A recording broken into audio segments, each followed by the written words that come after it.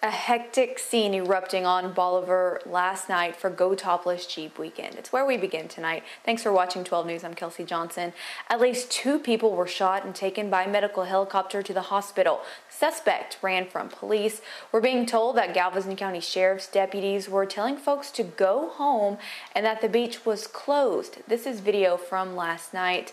As of yesterday, more than 60 people had already been arrested. Tonight, 12 News reporter Jordan James is getting us new numbers numbers and a breakdown of what happened overnight. Jordan? Yeah, Kelsey, the Galveston County Sheriff Office tells me that the crowds, they're much larger than they were last year. Also, there's been an increase in the number of arrests that have been made this year. More on that here in a little bit. But regarding last night's incident, the Sheriff Office tells us that a fight broke out between a group of men. Eventually, a woman got involved, and the suspect shot at two men who were taken to the hospital who underwent surgery. At this time, deputies are still trying to locate the suspect who ran away following the shooting. The Galveston County Sheriff's Office says on Friday and Saturday there were 127 arrests made.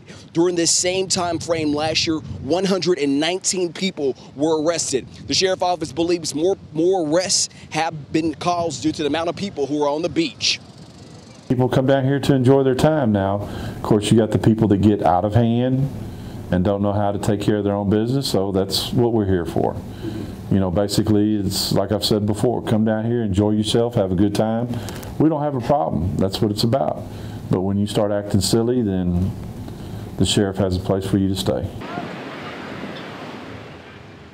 There are more than 100 law enforcement agents patrolling Bolivar Peninsula during Go Topless Jeep weekend. Coming up at 10, I'll tell you how some locals are reacting to this weekend coming to an end. Also, I'll explain what crime Galveston County Sheriff Office are strongly enforcing this go round.